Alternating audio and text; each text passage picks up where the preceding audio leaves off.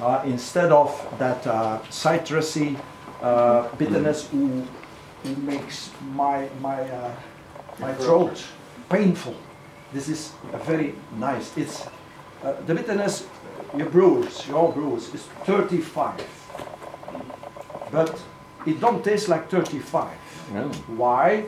Because there are no bitter hops in it. It's only aroma hops. Yeah. Uh, no, we don't have secrets. Saaz. Saaz. Check, Czech hop Saaz. Um, very low bitterness. You know what it means, the percent in alpha?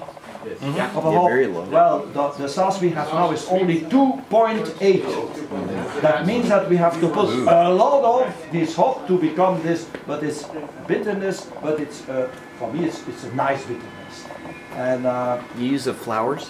Just the flowers? no, Yeah. no, no, no, no, no, no, pellets.